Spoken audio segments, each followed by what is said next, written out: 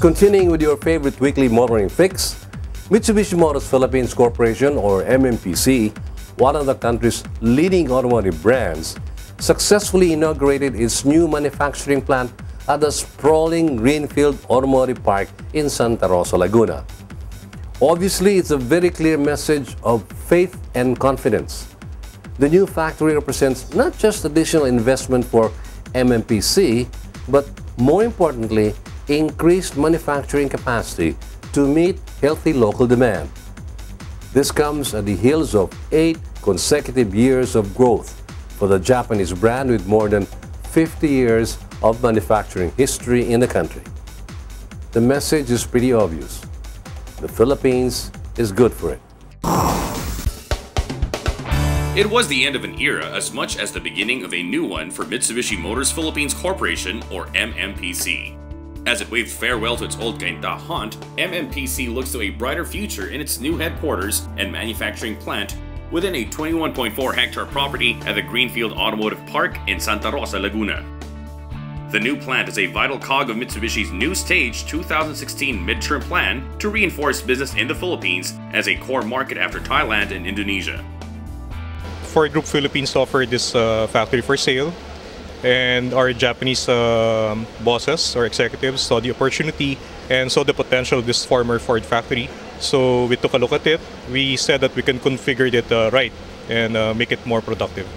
Compared to Cainta, what we added here in Santa Rosa is the most advanced plastic paint system in the country. Actually, uh, in Japan also, it's the most advanced system wherein uh, it saves space, uh, around 80% with space, and also uh, around 2 billion pesos in savings uh, because of uh, a reduction in electricity costs and, and operation costs. our move from Cainta to Santa Rosa means that we're getting ready for the motorization. President Benigno Aquino III was on hand to personally inspect the new facility, escorted by MMPC President and CEO Hikosaburo Shibata.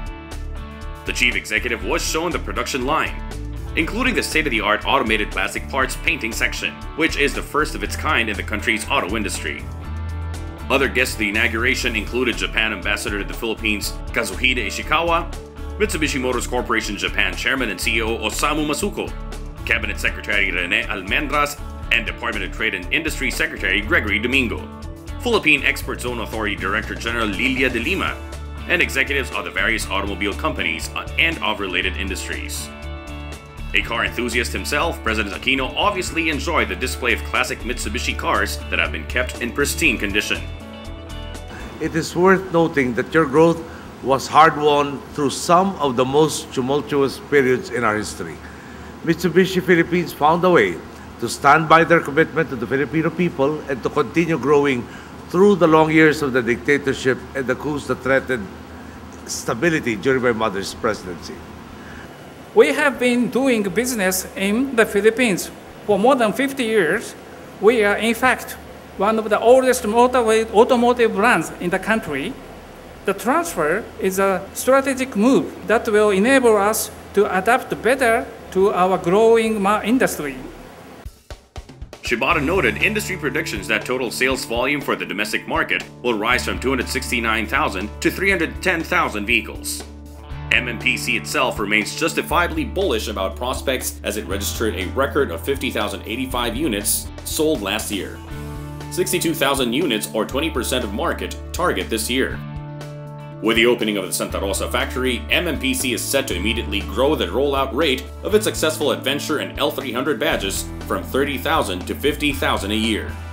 MMPC is thus in prime position to realize its 2015 sales target of 62,000 units. It is worth noting that around 60% of the vehicle parts are made locally, so the increased activity is expected to provide additional stimulus to the industry.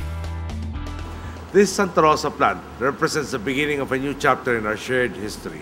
Completed just last month, the plant has a production capacity of up to 50,000 units per year and is expected to employ up to 1,150 individuals over the next six years. Significantly, the President promised that government will do its part to provide support and impetus to further grow the industry. It is always heartening to see our industry grow, and Mitsubishi Motors Philippines Corporation, or MMPC, is obviously helping to do just that while showing us it is here for the long haul.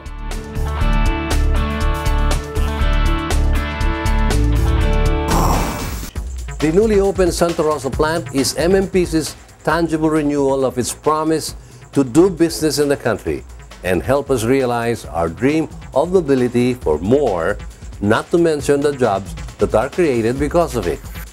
Congratulations are in order for our friends in MMPC. Here's to more years of growth and success.